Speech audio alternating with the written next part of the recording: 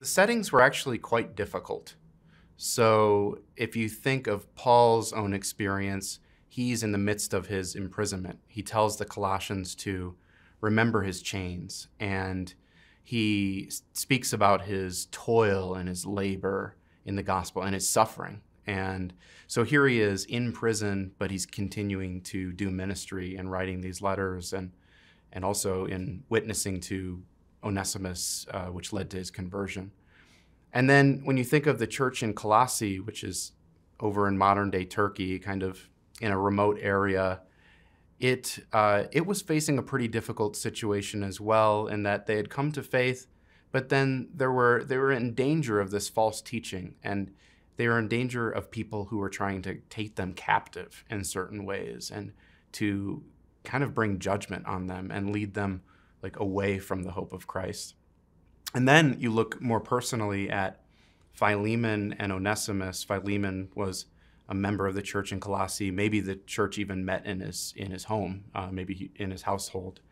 And Onesimus was uh, was a slave of Philemon who had probably run away uh, and perhaps had stolen something in the process.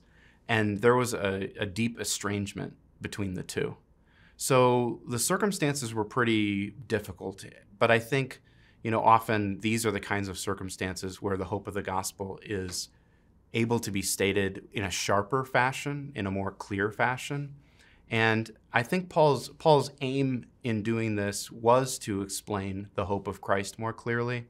For the Colossians, he wanted to warn them away from this false teaching that would take them captive and lead them away from Christ. And then for Philemon, it's a really interesting letter, perhaps Paul's most interesting letter, that he, he writes it in, in a way that, that recognizes how difficult the, the tension was between Onesimus and Philemon.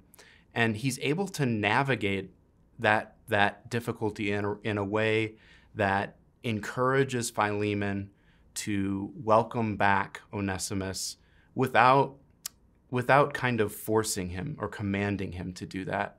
So he's able to kind of walk that line of, uh, of recognizing this is a sensitive issue and yet reminding him what, what does the gospel call us to here? It calls us to welcome one another. It calls us to embrace one another and forgive one another as the Lord has forgiven us.